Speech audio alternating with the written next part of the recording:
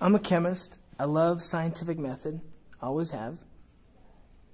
And when I worked for the drug industry, science was completely abandoned. These drug companies that I, was, that I was interviewing with had no problem telling me, look, we design drugs based on treating symptoms. We don't cure. So, that's a business model, okay, that allows you to give a drug to a person for life. They ran out of symptoms to treat. So what did they have to do?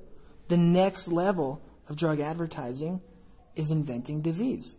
When you run out of symptoms, you don't have any more clientele to market to.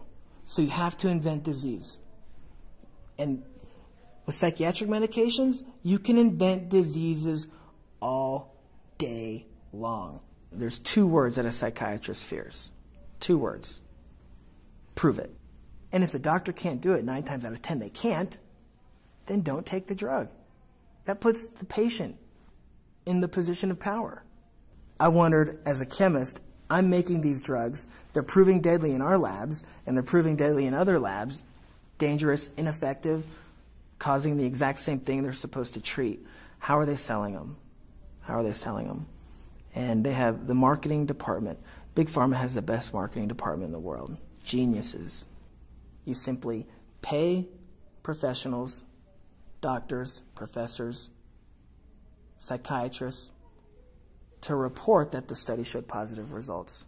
You're paying them. You're buying science, checkbook science. At least 125,000 people dying every year from prescription drugs. You would think that you'd spend more in research to try to offset the death toll. No. Keep going with marketing. Market, market, market. Hypnotize the masses. Hypnotize them and drug them and get them into their psychiatrist so they can swallow the next Cymbalta or the next Prozac or whatever they're going to package it as and name it as. You have a billion dollar industry making a lot of people sick and profiting on it.